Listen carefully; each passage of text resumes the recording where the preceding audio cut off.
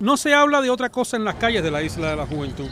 Anoche la tierra tembló y aunque el sismo fue perceptible en toda la ínsula, muchos estaban tan concentrados en otras actividades que no lo sintieron.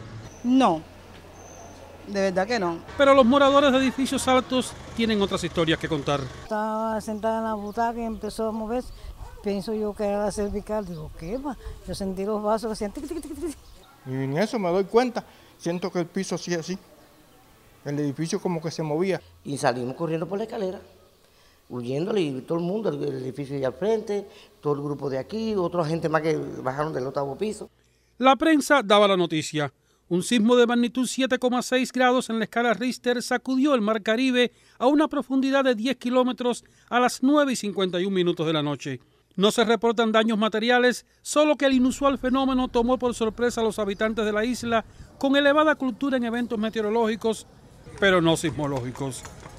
Según el delegado del sisma aquí, doctor Fidel Vera Bueno, actualmente se capacita un especialista en sismología y en breve deben materializarse otras acciones.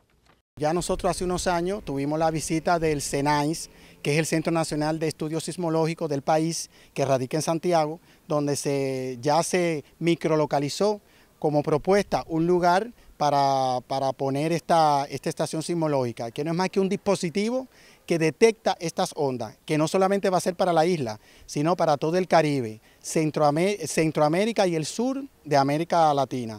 La vida continúa su curso aquí. Mañana quizás ya pocos se acuerdan de la noche en que la tierra tembló en la isla. Pero según expertos, las réplicas perceptibles en el municipio especial deben continuar durante los próximos días, por lo que es preciso estar alertas y cumplir las medidas establecidas. En la isla Noel Otaño, Sistema Informativo de la Televisión Cubana.